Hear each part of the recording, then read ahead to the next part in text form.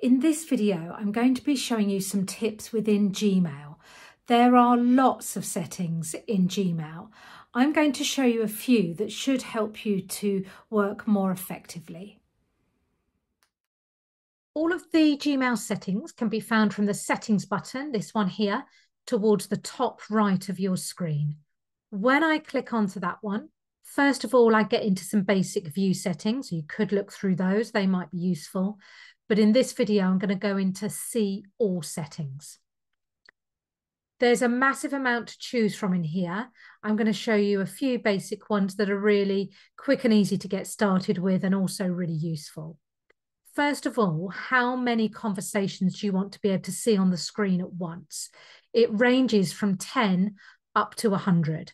I've got it set as 50, so I can always see 50 messages in my inbox at a time, and I'd need to move forwards through the pages to see more.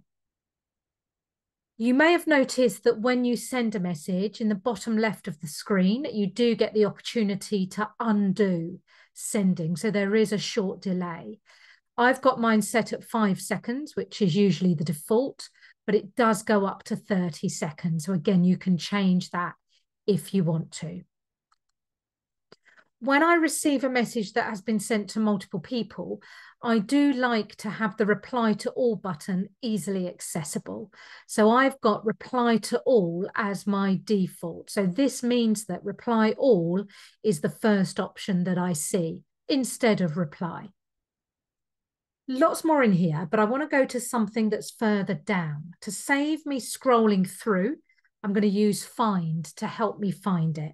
So I'll do control F, type in what I'm looking for, which is stars, and it's brought that up for me.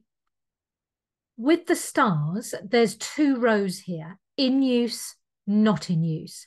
So stars help you to find messages more easily, and I'll show you how to use this in a moment.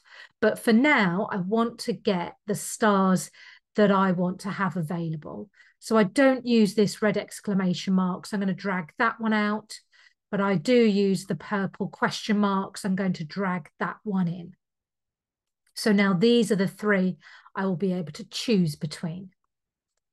Whenever you change any settings, you need to save your changes. The save button is right down the bottom of this list of options. So to get to the bottom of the list, I'm going to do control and end on the keyboard. Control end will take me down to the bottom. And now I can click on Save Changes, and there we go. So if you haven't used the stars before, you've got the little star symbol here. You just click on that as many times as you want to to get the symbol that you needed. And then later on, if you want to access anything that you've starred, you go to the starred area over here on the left.